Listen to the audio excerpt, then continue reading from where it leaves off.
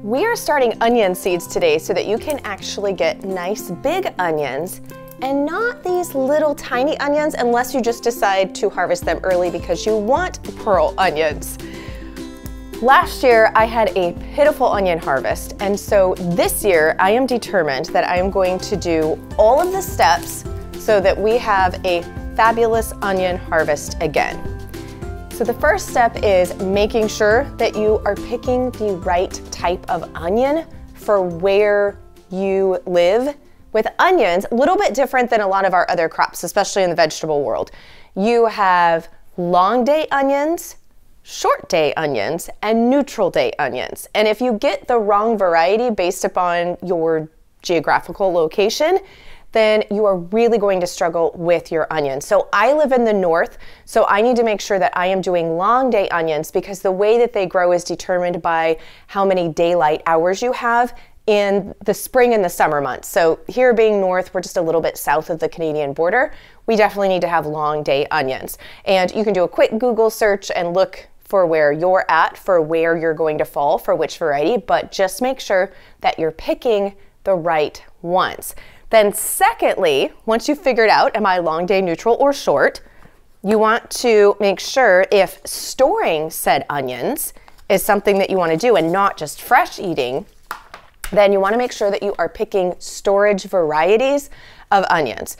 So this, even though it's a little tiny, it's like the cutest little baby onion ever, this onion was harvested in August, and at the time of this filming, we are in February. And you can see it's storing just great, even though it's super tiny, which I, will talk about why this poor little onion and a lot of my onions this year are smaller caliber, because it's just like almost a miniature. um, but you wanna have long type storage onions because these will sit on, I have just a couple that I pull out and keep in the kitchen because I always need onions. And then the rest of them I keep back in our back pantry, which is out of direct daylight, relatively cool, um, not humid, not getting steam and different heat, you know, from cooking in the kitchen. But I will have our storage onions will last me, I've had them go at least nine months, some of them almost 12 months before they'll sprout and then it's time to be harvesting the rest of the new crop of onions. So some of my favorites are Patterson, which is a yellow storage onion. Um, I'm trying this year, this is a new one. It is a red wing red onion. Typically your red and white onions don't have as long of storage, but this one is supposed to be a storage variety. I haven't grown it to store it yet myself, so it's one that I'm gonna be trying out. And then I'm very excited about this one. This is called Newburgh and it is a long storage onion as well. This one has been grown in my area, so Pacific Northwest, typically a cooler summer climate, wet and so I'm excited to try this one because if I can find or if you can find a seed company that is growing and seed saving their own seeds they're not just buying them and repackaging them which some seed companies do um, this one is Siskiyou Seeds. They're out of Oregon. I'm in Washington State so very similar climate. I have found that getting seeds from if you can you can't always find one that's very specific to your area.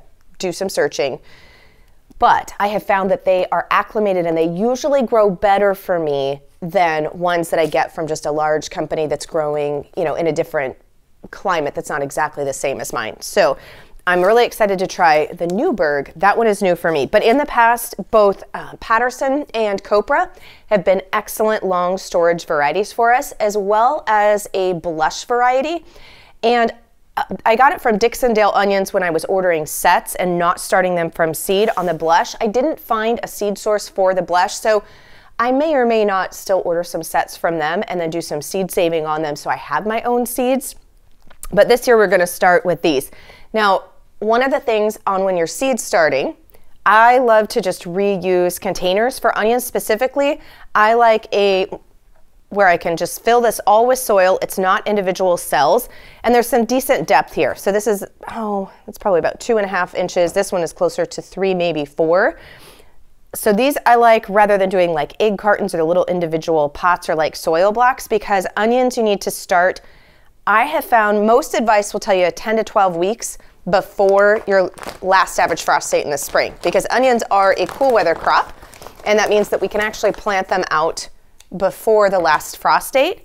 But I have found when starting them from seed, which we're doing today, that the onion little bulb, if you only do 10 to 12 weeks, it's still relatively small. There's not much of a bulb. It's much smaller than if you order sets in. And so sets of where they have started them, then they've stopped the process just long enough that they go into a little bit of dormancy so that they can ship them. But then you're actually planting a bulb in the ground and it will grow for you rather than doing it from seed like we're doing now, because you typically do have to seed start. So I found that 16 weeks instead of 10 to 12 weeks gives me a larger bulb and is closer to the growth um, habits of the sets when I get them in. Otherwise, I have smaller onions, not quite this small. This one, we had weird inclemental weather this year, past year, and it really affected my onion growth. We had like 120 degree Fahrenheit days, triple digit temps for almost a full week, and it seemed to really stunt the onions, and I had a pitiful onion harvest. So this year, I'm determined that we're going to have a good onion onion harvest again. So I'm starting mine from seed this year um, rather than just depending all upon ordering sets. So here is a potting soil mix.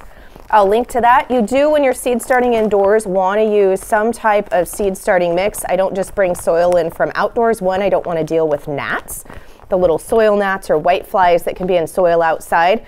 Um, we will link to some of my other seed starting videos, but you also don't want to use that because it's too compact. And when you're in a container, it's not the same as having the regular,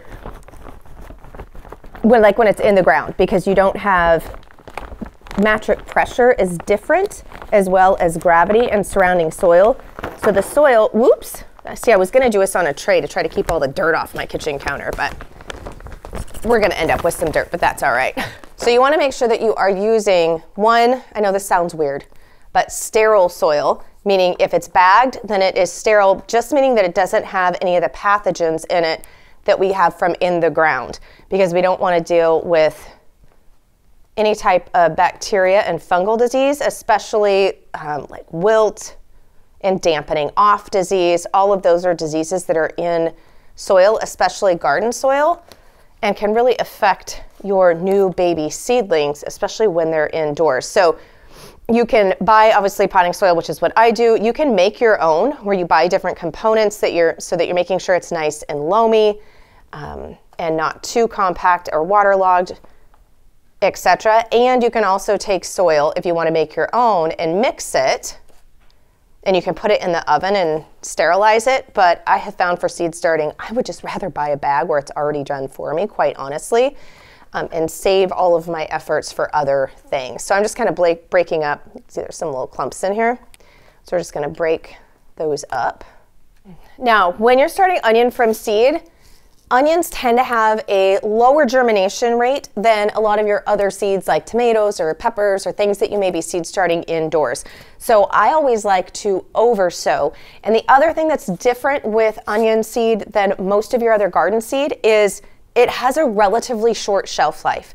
So if you purchased onion seeds last year and used those and you had some left over and you go to use them again the year two, oftentimes your germination rate is even less and people get really frustrated not realizing that onions are one of the probably the of all the seeds especially like vegetable gardening seed wise they only really have a one year shelf life so if you've got onion seed that's more than one year old go ahead and plant it if you've got it but don't be surprised if hardly any of them actually germinate and grow for you you can see they're relatively they're relatively small. So these are the, the Newburgh onion. So you can see these are really, they're small seeds. They're kind of about similar to like carrot size. They're pretty little. So I know that I can go through and actually thin these out. And these are not their final resting place because I'll be transplanting transplanting these and you just pull them all the way out from the soil when it comes to transplanting time and I can thin them there. So I can get multiple onion seeds started in here. So I'm just gonna do, I'm gonna do about three rows. And I know it's very hard to see because these are black seeds going on black soil. And I'm just gonna do those a little bit densely and I'll worry about thinning them after they've sprouted and started to grow. So now I'm gonna do a full two rows of the yellow Patterson just because I've grown these ones for many, many years and I know that these store awesome. So I wanna have more of my storage onions that I know will store well than I do of these newer variety, which is the red ones. So I'm just gonna do one and a half rows of the red and do full. These ones you can see a little bit better too. So we've got our seeds in and you wanna have them about a quarter inch deep. So not, not too deep, but they're not surface sown. And then about a half an inch to an inch apart of your rows inside when you're doing kind of like these little pallet seed starting. Now these are all non-pelleted seeds. They do make pelleted seeds. They look like little white BBs. And those are good if you're sowing really, really large areas because they're a little bit larger and so you can see where you've placed them. However, I have tried pelleted versions in the past and none of the pelleted versions actually germinated for me. When I was seed starting, the non-pelleted version, which is what we have here, they germinated by day four. I waited 14 days for the pelleted versions to germinate and they never did germinate. So I don't know, maybe I got a bad batch, but I don't purchase the pelleted versions anymore due to my first experience trying to seed start with them. So we have got these um, at a quarter inch deep, and of course we need to have moisture when we're seed starting. So I have one of these little, um, it's actually for my house plants, but it works well as a sprayer to evenly get the surface moist. Well, it works well until you come on camera, and then it decides to stop working.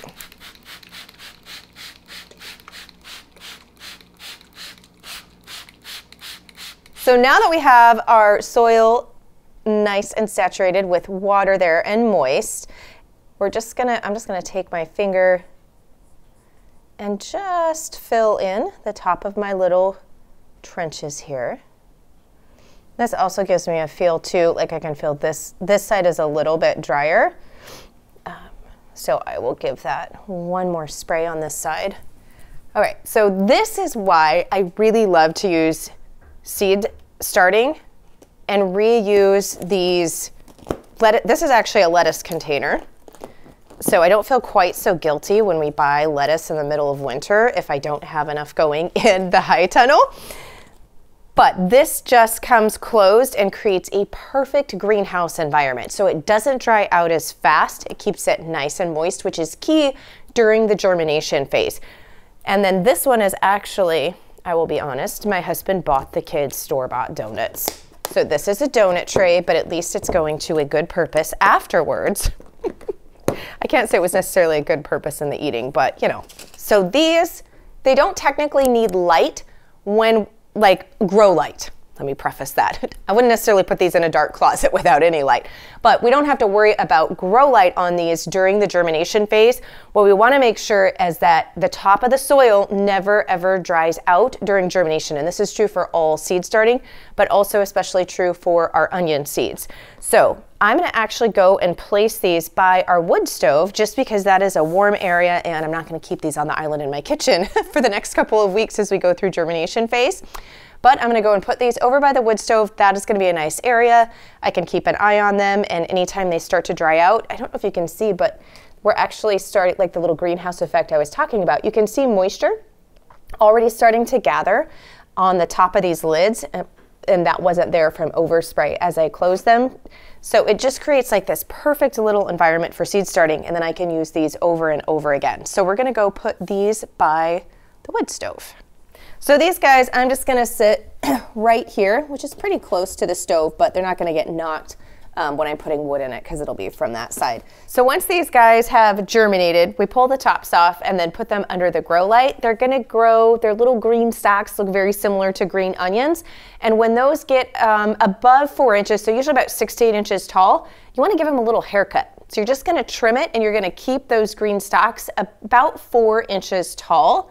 And that is going to help them one be manageable. Otherwise you're going to have this huge thing of really tall falling over getting all tangled wispy green stalks and if you keep them trimmed not trimmed trimmed to about four inches, they're still enough that they're able to grow and that the bulb will continue to form, the little tiny bulb, um, and the plants will be just fine, but they will be much more manageable for you. And then of course you'll want to harden them off as we do with any seeds that have been started inside and get them planted out at the appropriate time. So I have this video that goes through grow lights that you can check out more in depth.